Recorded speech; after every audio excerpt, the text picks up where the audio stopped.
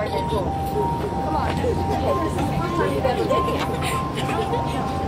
no, so much better than that. Thank you so much.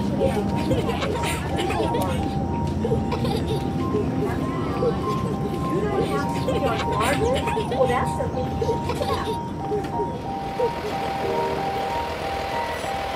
It's like you should be in a game.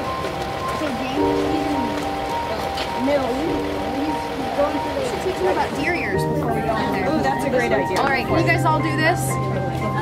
Ladies in the back too. Can we do this? Cup your hands behind your ears. Added to it. Um,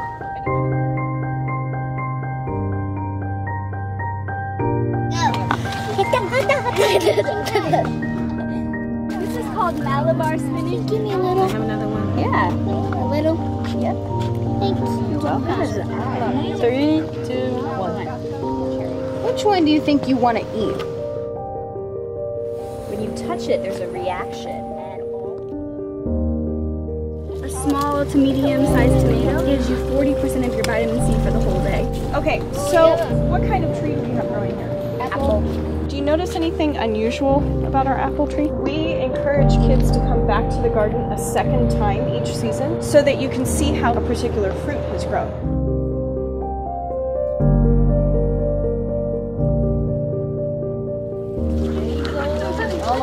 Lemon banana. Oh my god. Curly leaf parsley. Oh my god! Dill. All these little air pockets are keeping this plant floating on the surface of the water. Isn't that cool? yeah, Smells good. good. It does. This is the one the root. Uh, you can use the root to make bubble gum. Level it off.